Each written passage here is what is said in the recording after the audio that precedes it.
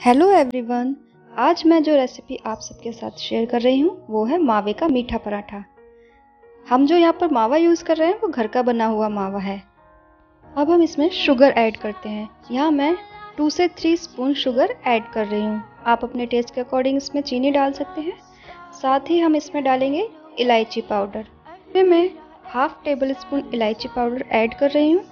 और साथ में ही हम इसमें ऐड करेंगे ब्लैक पेपर इन सबको हम अच्छे से मिक्स कर देते हैं। मैंने मावे का चटपटा पराठा भी बनाया हुआ है, जिसकी वीडियो आपको चैनल पर मिल जाएगी। तो आज हम बनाते हैं मावे का मीठा पराठा। तो चलिए बनाते हैं मावे का मीठा पराठा।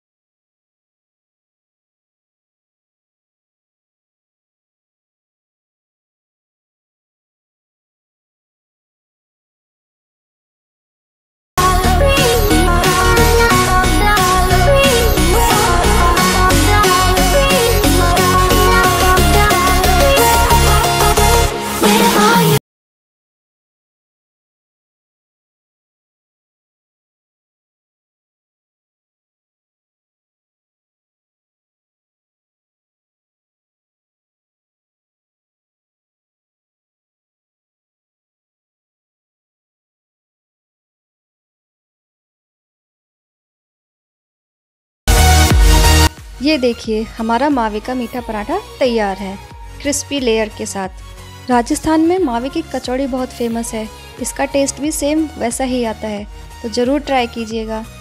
इसकी first layer crispy and second layer होती है सॉफ्ट तो बहुत ही अच्छा टेस्ट आता है, ज़रूर ट्राई कीजिएगा मावे का मीठा पराठा। वीडियो को लाइक करें शेयर करें और चैनल को सब्सक्राइब करना ना भूलें।